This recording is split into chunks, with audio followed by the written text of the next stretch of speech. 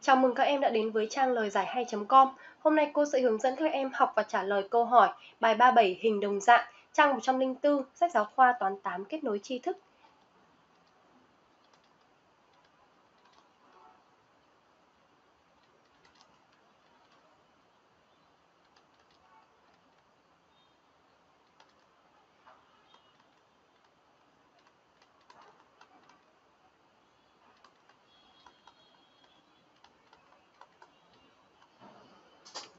Ta thấy rằng hai hình phẳng bằng nhau tức là hai hình có thể chồng khít lên nhau thì sẽ có những hình dạng và kích thước giống nhau. Ngoài ra còn có những hình có kích thước khác nhau nhưng vẫn có hình dạng giống nhau, ví dụ như là hình chụp những chú cá trong hình 9.60. Trong các hình đơn giản đã được học thì có những hình nào có tính chất đó? Bài này thì chúng ta sẽ tìm hiểu về những hình như vậy. Chúng ta đã thấy chúng ta đã học về um, tam giác đồng dạng đúng không? Những tam giác đồng dạng này uh, mặc dù có kích thước khác nhau nhưng vẫn có hình dạng giống nhau. Chúng ta cùng đến với phần hình đồng dạng, hình đồng dạng phối cảnh. Ta cùng vào hoạt động 1. Lấy điểm O và vẽ tam giác A B C như hình 9.61. Trên các tia OA OB và OC lấy các điểm ABC sao cho OA bằng 2 lần OA OB bằng 2 lần OB và OC bằng 2 lần OC. Hãy giải thích vì sao tam giác ABC đồng dạng với tam giác A B C với tỷ số đồng dạng bằng 2. Trước tiên thì ta thấy rằng vì A B song song với AB, thế nên ta sẽ có tam giác đồng dạng.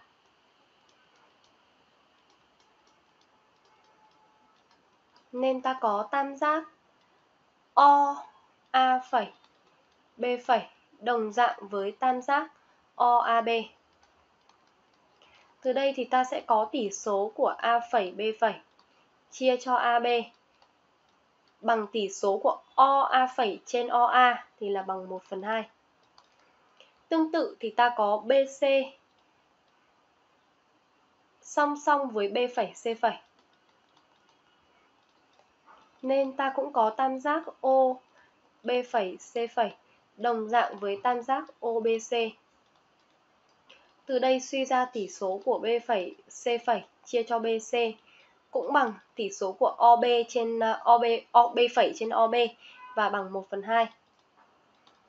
Vậy suy ra tam giác OA tam giác ABC sẽ đồng dạng với tam giác A phẩy B phẩy C phẩy theo trường hợp cạnh góc cạnh. Vì sao?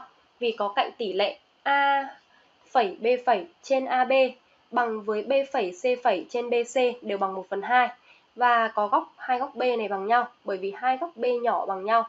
Hai hai góc B B1 đi. Cô sẽ đặt đơn giản là B1 này, thì bằng với B1 phẩy. B2 thì bằng với B2 phẩy nhá. Và tỷ số đồng dạng của tam giác ABC với tam giác A phẩy B phẩy C phẩy thì chính là bằng cạnh AB trên A phẩy B phẩy và bằng 2 phần 1.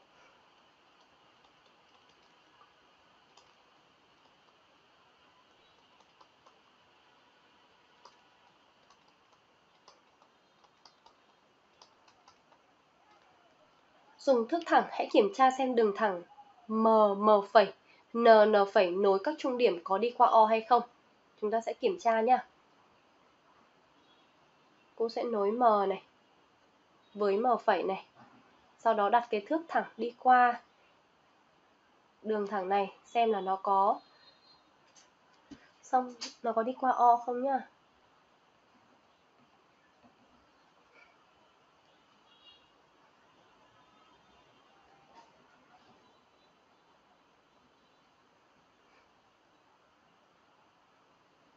ta thấy rằng đường thẳng này có đi qua O và tương tự với NN phẩy.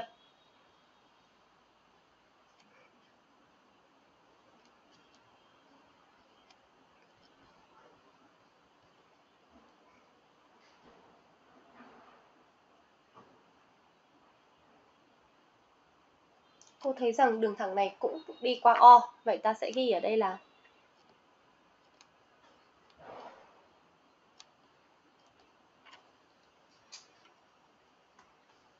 m m phẩy và n n phẩy có đi qua O. Trong hình 9.61 ta nói rằng tam giác ABC là hình phóng to gấp 2 lần của tam giác A phẩy B phẩy C phẩy và tam giác A phẩy B phẩy C phẩy là hình thu nhỏ 2 lần của tam giác ABC. Chúng ta cùng đến với hoạt động 2.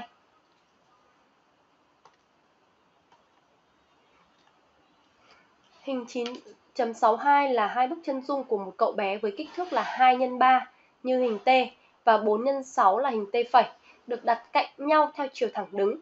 Ta lấy các đường thẳng A, A phẩy, B, B phẩy nối các điểm tương ứng trên hai bức chân dung cùng đi qua điểm O như trên hình. Dùng thước thẳng hãy kiểm tra xem một đường thẳng nối hai điểm tương ứng tùy ý trên hai hình. Ví dụ như là hình chỗ C và C phẩy có đi qua O hay không. Cô sẽ phóng to lên một chút này. Đặt thước kẻ thẳng vào đây. Ta sẽ xoay thước để nó đi qua C và C phẩy.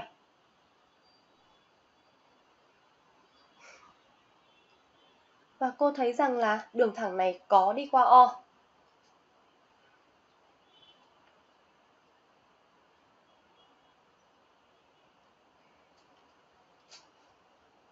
Vậy cô sẽ ghi câu trả lời ở đây là đường thẳng có đi qua O.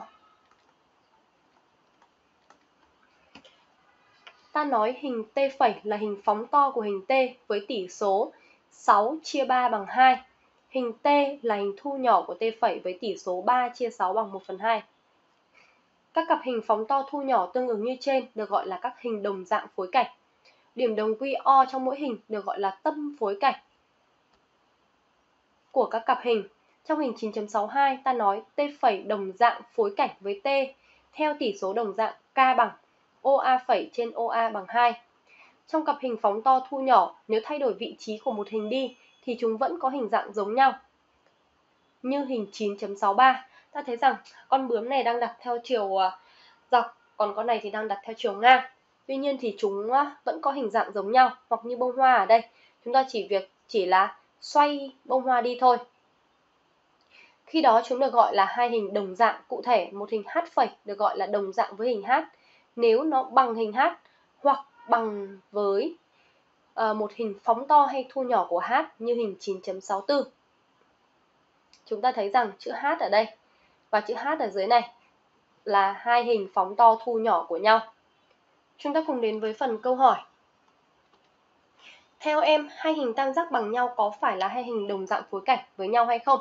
Hai hình ờ, đồng dạng phối cảnh thì chúng ta sẽ phải tìm được điểm đồng quy và điểm đó được gọi là tâm phối cảnh. Thế nên hai tam giác bằng nhau thì chưa chắc nó đã là uh, đồng dạng, nó có thể là đồng dạng với nhau nhưng chưa là đồng dạng phối cảnh. Vậy ta nói hai tam giác bằng nhau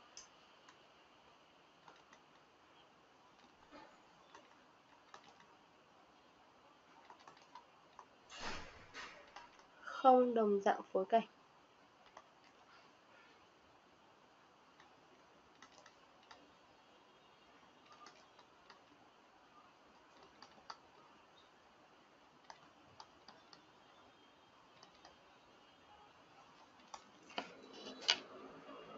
Chúng ta cùng đến với phần ví dụ.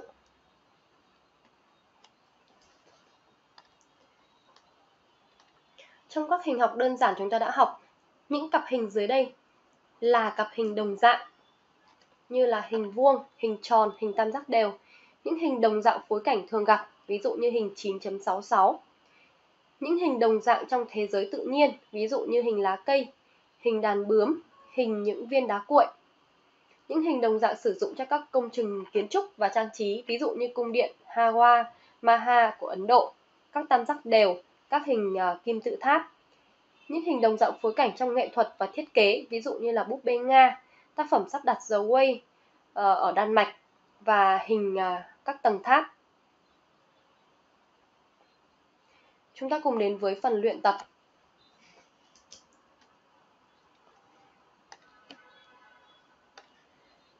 Trong những cặp hình dưới đây như hình 9.70, cặp hình nào là hai hình đồng dạng?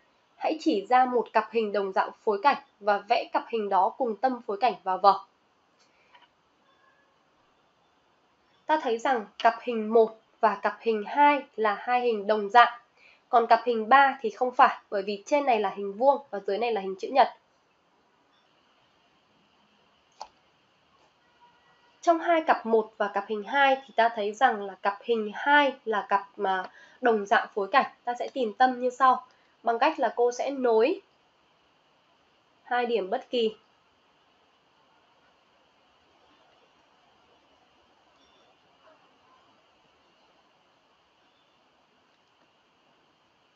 cô sẽ nối các đỉnh của tam giác vào. Ta thấy chúng đồng quy tại một điểm, vậy điểm này được gọi là tâm phối cảnh. Vậy ta sẽ trả lời ở đây là cặp đồng dạng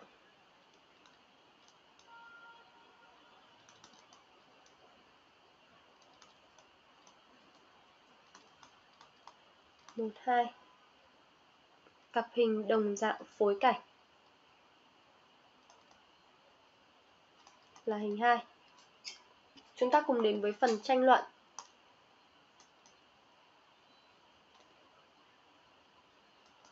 Trong phần tranh luận này thì bạn Vuông nói rằng tớ nghĩ hai hình vuông bất kỳ đều đồng dạng với nhau, điều này là chính xác, vậy vuông đúng.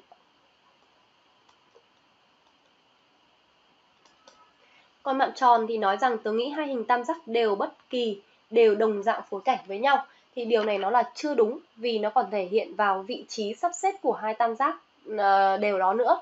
Ví dụ như trên hình này, chúng ta thấy hai tam giác đều đây. Ví dụ hai tam giác này nó lật ngược vào với nhau như thế này thì chúng ta sẽ không thể nào tìm được tâm phối cảnh. Vậy chúng không được coi là đồng dạng phối cảnh hoặc như hình này cũng thế. Không tìm được tâm phối cảnh. Vậy thì ta nói là bạn vuông đúng còn bạn tròn sai.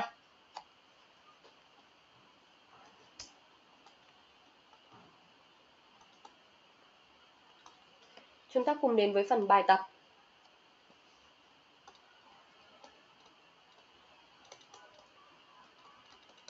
Lấy một điểm O nằm ngoài đoạn thẳng AB. Trước tiên cô sẽ vẽ một đoạn thẳng AB.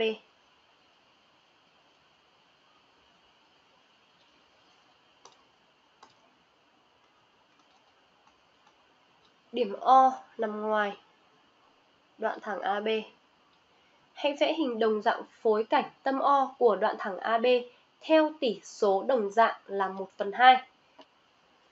Hình đồng dạng phối cảnh với đoạn thẳng AB chắc chắn cũng sẽ là một đoạn thẳng, cô gọi là đoạn thẳng A B.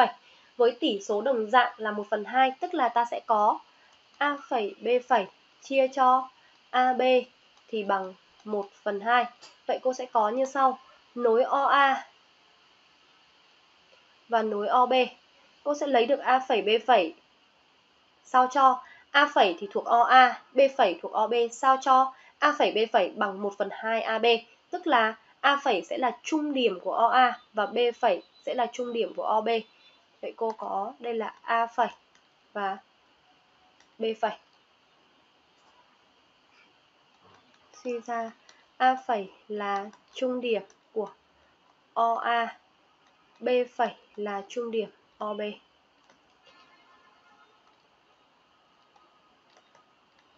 Tiếp tục với 9.30.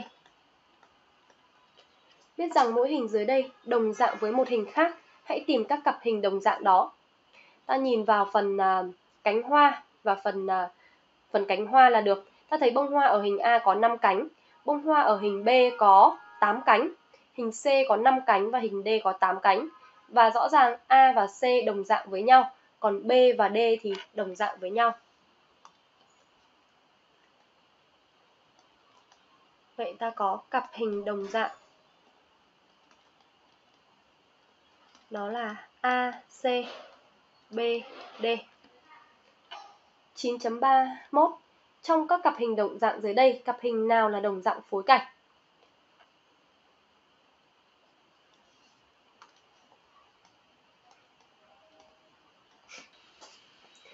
Ở hình 9.31 thì chúng ta sẽ tìm tâm phối cảnh bằng cách này, nối hai điểm tương ứng này.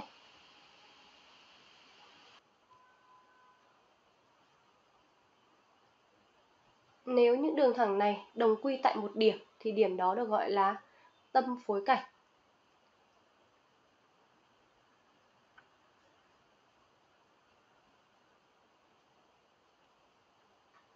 Đây chúng ta thấy rõ ràng là những đường này đồng quy tại một điểm duy nhất, đúng không? Đây chính là tâm phối cảnh này. Vậy hình à, cặp hình lục giác đều là đồng dạng phối cảnh.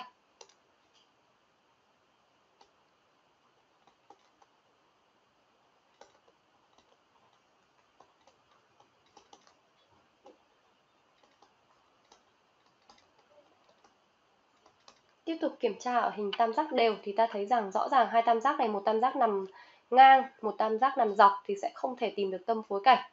Với cặp hình vuông thì chúng ta có thể tìm được như sau. Cô nối đỉnh này với đỉnh này, một đường này. Đỉnh trên này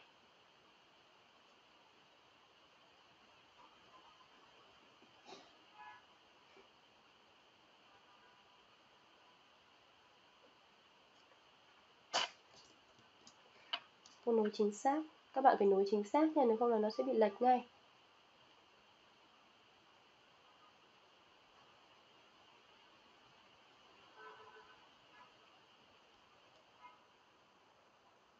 đây và điểm này chính là tâm phối cảnh vậy ta thấy cặp hình vuông cũng thỏa mãn